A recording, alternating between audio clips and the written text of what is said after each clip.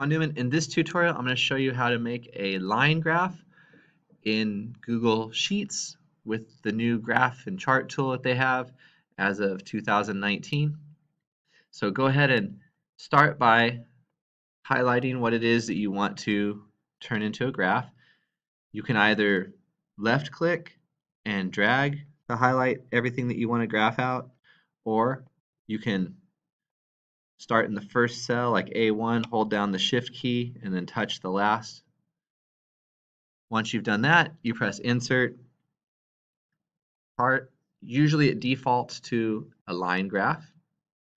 Now, in this case, I had, for this little experiment, minutes and the temperature with FOIL and with a control. So I would want two lines of results, but what I'm seeing in the default here for this chart is three lines. So one of them is something that I don't want. You can even see here in blue, they tell you minutes. So minutes should be the, the x-axis, not, not one of the lines. So what you do is over here in the editor, you go to series. The series are the lines that are being displayed on the graph. So we get rid of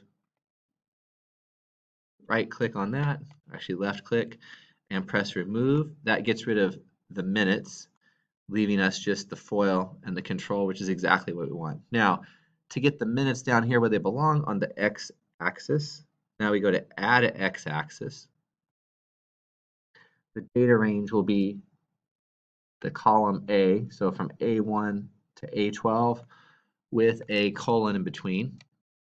So A1 colon A12.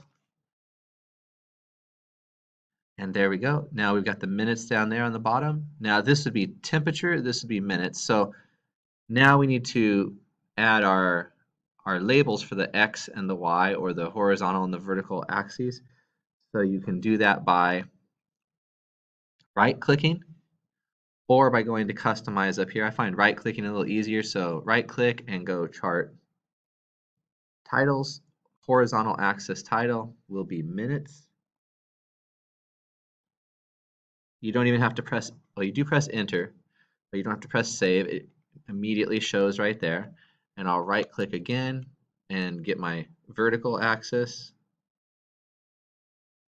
Call that temperature. in Celsius. And there it is.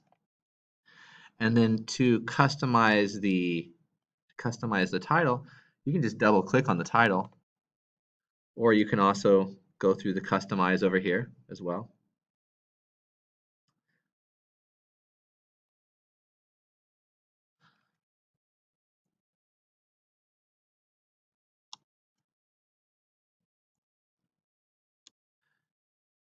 And once you put your title, in a, in a title for a graph like this, you would actually want to have a description clear enough so that when someone looks at this, they know what they see in the data. So this one might say like temperature of different beakers wrapped with different materials over a period of 20 minutes. And that's it. So that's how you make a double line graph with the new Google Sheets chart editor. I hope that was helpful.